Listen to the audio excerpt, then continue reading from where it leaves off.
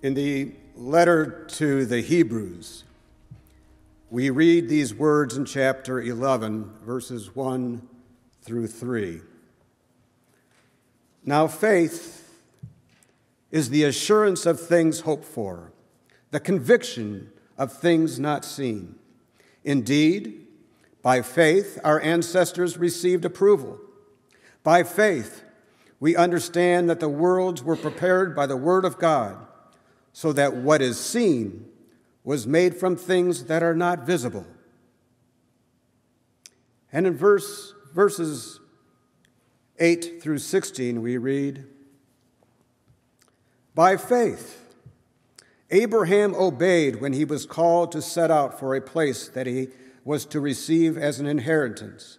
And he set out, not knowing where he was going. By faith, he stayed for a time in the land he had been promised as in a foreign land, living in tents, as did Isaac and Jacob, who were heirs with him of the same promise. For he looked forward to the city that has foundations, whose architect and builder is God. By faith, he received power of procreation, even though he was too old. And Sarah herself was barren because he considered him faithful who had promised. Therefore, from one person, and this one as good as dead, descendants were born, as many as the stars of heaven and as the innumerable grains of sand by the seashore. All of these died in faith, without, without having received the promises. But from a distance they saw and greeted them they confessed that they were strangers and foreigners on the earth. For people who speak in this way make it clear that they are seeking a homeland. If they had been thinking of the land that they had left behind, they could have had opportunity to return. But as it is, they desire a better country, that is, a heavenly one. Therefore, God is not ashamed to be called their God. Indeed, He prepared a city for them.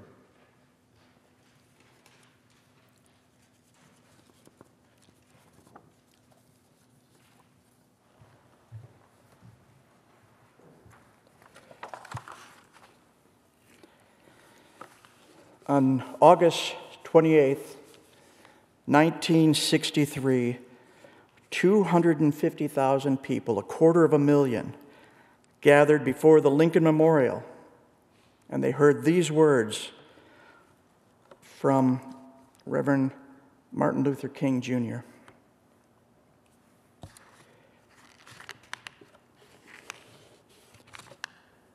I still have a dream it is a de- dream deeply rooted in the American dream. I have a dream that one day this nation will rise up and live out the true meaning of its creed. We hold these truths to be self evident that all men are created equal. This is our hope. This is our faith that I will go back to the South with. With this faith, we will be able to hew out of the mountain of despair a stone of hope. With this faith, we will be able to transform the jangling discords of our nation into a beautiful symphony of brotherhood.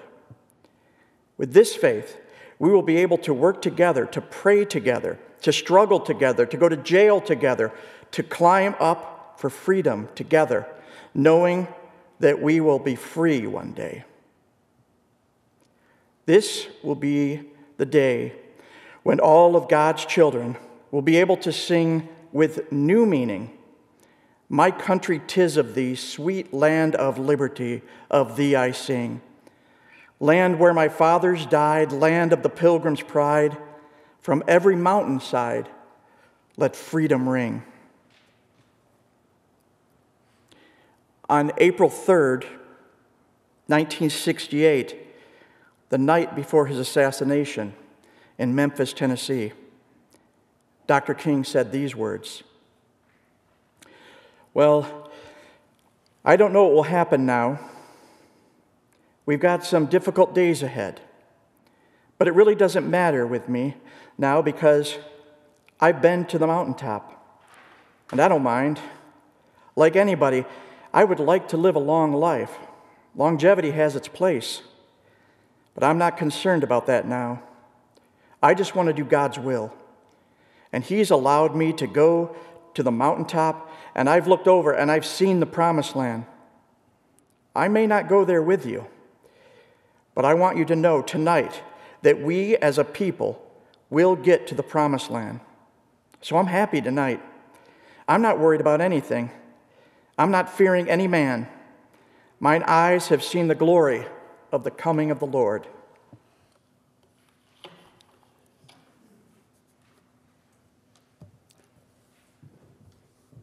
Good morning. And good morning to all those who are listening to us this morning online. This morning is a first for me. Despite knowing, worshiping, praying, and working on boards and committees for many years together, this is the first morning, the first time that Paul and I are sharing together as leaders in a Sunday worship experience. Paul, it is an honor and one I shall not forget. Thank you. The assurance of things not seen.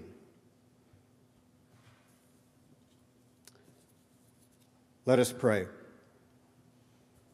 Let the words of my mouth and the meditation of my heart be acceptable in your sight, O Lord my rock, and my redeemer. Amen. This morning, we're going to explore scripture found in the letter to the Hebrews and words spoken by Dr. Martin Luther King as they speak to faith and the assurance that something we hope for will happen. Let's begin briefly by giving some background to today's scripture from Hebrews chapter 11. Hebrews 11 is the foremost faith chapter of all scripture. First, by defining faith, and then using by example well known biblical characters to show faith in action. These people heard God's promises and believed them despite waiting a very long time to see the promises fulfilled. Some promises never having been fulfilled in their lifetime. Walt Disney died before Disneyland, or Disney World, I should say, was completed in Florida. Soon after its completion, many commented, Isn't it too bad that Walt didn't live to see this? And to that, the reply was and has been he did see it. That's why it's here. If we had visited Orlando when he built Disney World, we would have seen only fields and orchards and swamps. But Walt Disney saw boats and trains and children Disney World exists because he saw it. It's, it is real to us today only because it was first real to Walt Disney in that tire, tireless work ethic and wonderful, hope for, imagine of his. Now, hear again those words from Hebrews 11, this time from the NIV tr- translation. Now, faith is being sure of what we hope for and certain of what we do not see. Now, some people scoff at Christians because we live by faith, because we believe that which we cannot see, because we are assured of things for which we can only hope and are convinced of that which we cannot see. They call us otherworldly, and though they are usually very polite to listen to us, they oftentimes give little weight to our foundational belief. They say, you know, in reality, you only go around once, and can't you see that? Grasp all the likings of this world you can get. And to that we reply, we just don't go around once. There is something more, and we have seen it. God has revealed it to us. It abides in our minds and in our hearts. The best is yet to come.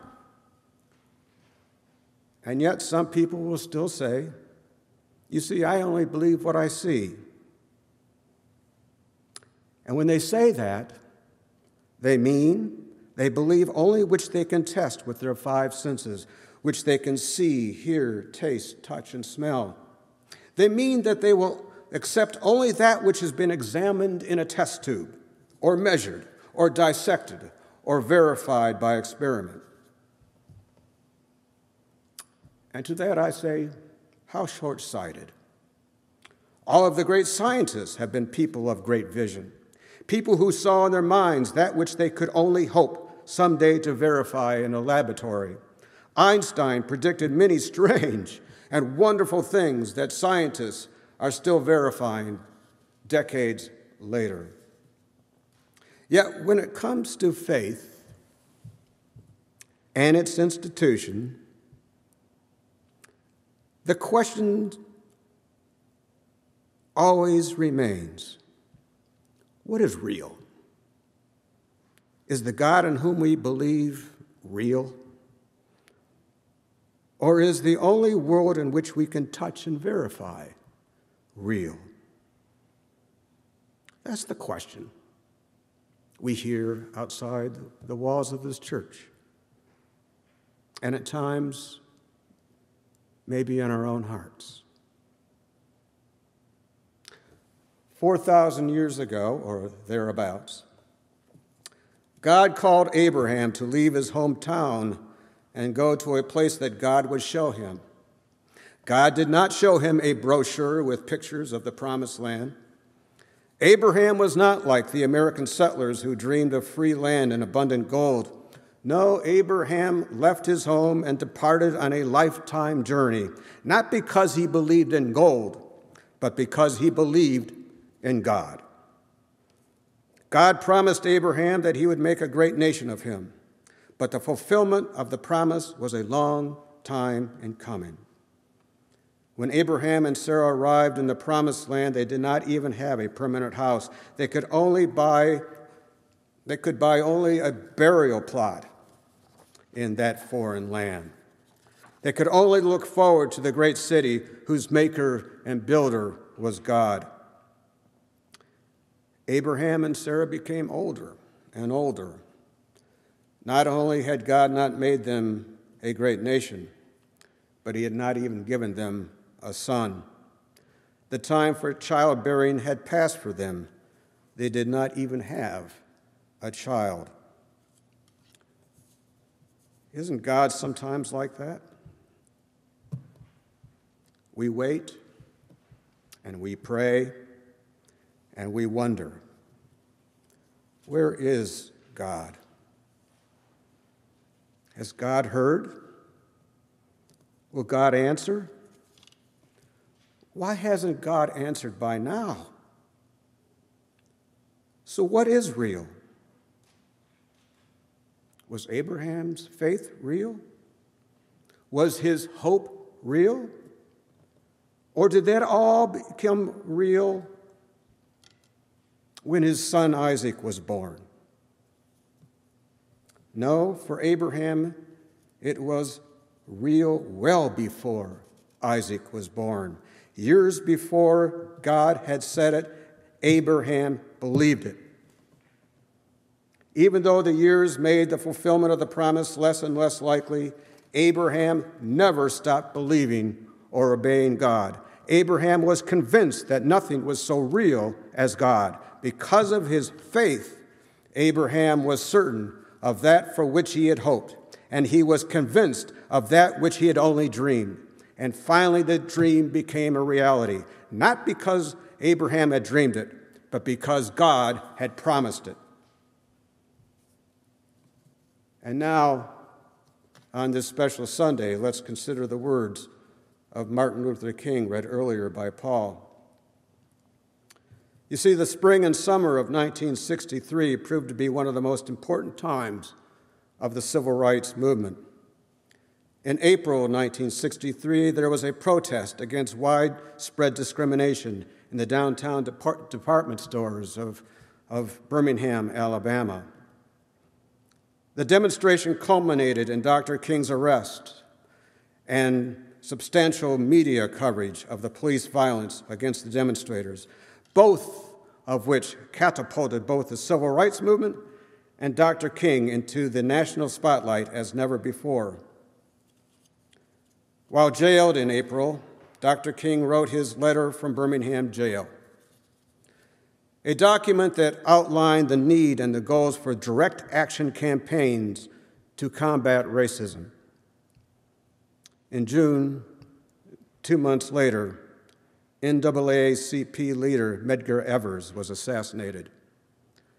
The acclaim that Dr. King's letter from the Birmingham jail received and the horror of Medgar Evers' killing foreshadowed the success, the successful reaction in August 1963 to King's profound speech at the Washington, Washington D.C. Mall.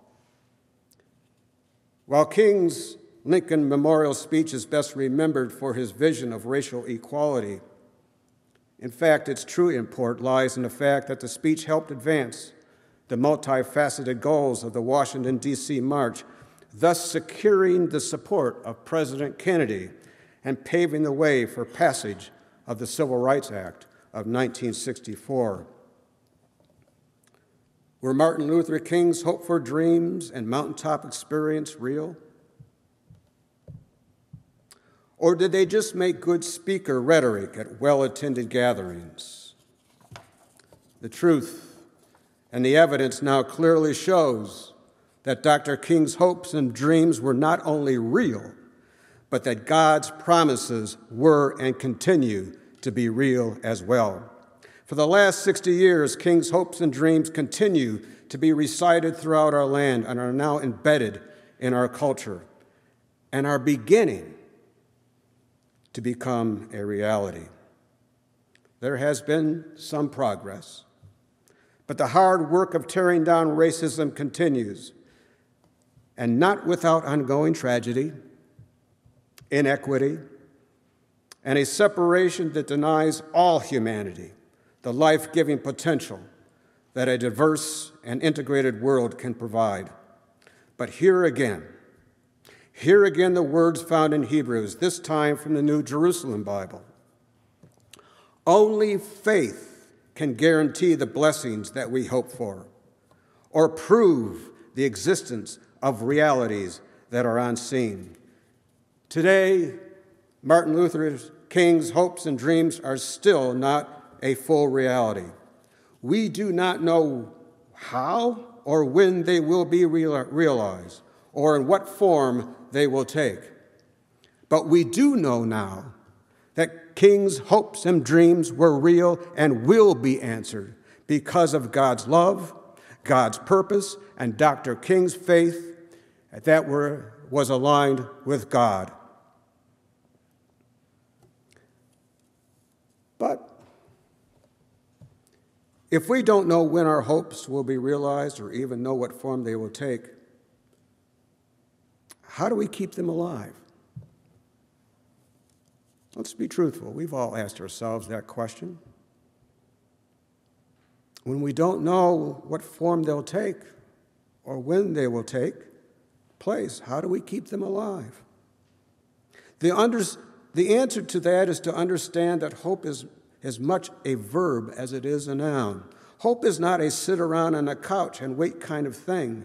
Hope is a dynamic process of faith involving the active pursuit of goals, a determination of how to reach those goals, and the willpower to see them to, to fruition. The future is an infinite succession of each moment, and to live now one's hope, one's expectation, according to God's love and one's aligned faith, is itself faith with life.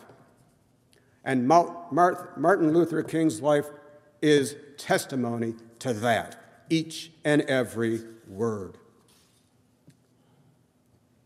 Martin Luther King's work, ministry, and words reveal that faith, combined with hope, is an active process. This is the great lesson for us and this country today.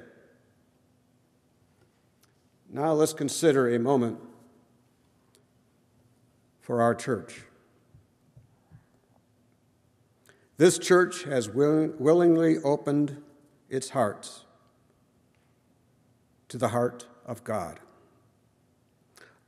We have opened our minds to the mind of God and our intentions to the purposes of God. We have not stopped listening. We have not stopped praying. We have not yield, yielded to a simpler way. We know that God is present in our undertakings. We know that God has and continues to answer us. Our faith journey over these past six years has borne fruit. Today, we not only have hope, but we as a faith community can now firmly declare that this church, whatever form it takes, will be open to all people from all walks of life who yearn to join and pursue freedom, safety, and a life giving faith. And though we cannot see ahead, there is a certainty a promise in what we hope for. Let me conclude with my thoughts for each of us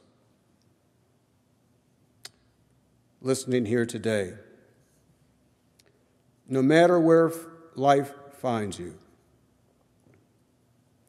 standing here, I cannot prove to you or for anybody outside these walls that God is real. But what I can say to each of us and to those persons outside the walls is that you can come to know God is real in the same way that Martin Luther King and Abraham did. And let me offer this suggestion. For each of us, myself, as you go about reflecting on your life and creating hopes for your future in the next days, weeks, and months ahead,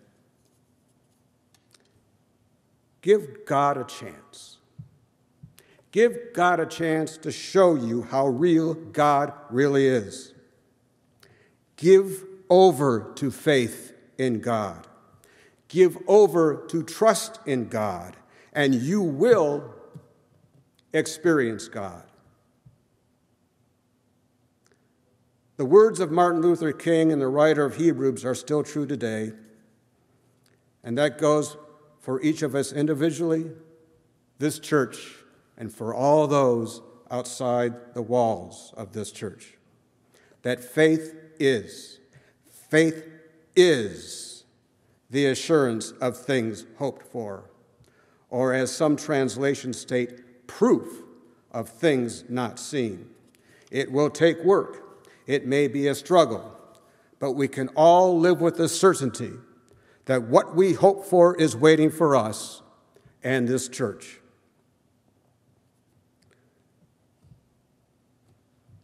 We may not know what will happen today or our many tomorrows. But like Martin Luther King, we need not be concerned. We just need to continue with faith and hope and do what God has purposed for our lives in this church. We may not live to experience that which by faith we hope for, but God will allow us, as He did Martin Luther King, to walk to the mountaintop and show us the promised land. Amen.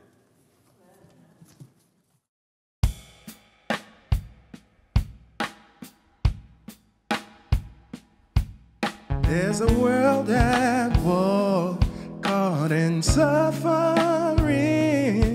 silent casualties. Oh God, grant us peace sleepless nights. I can hardly breathe despite brutality. I know that we'll be free. I know that we'll be free. Let the light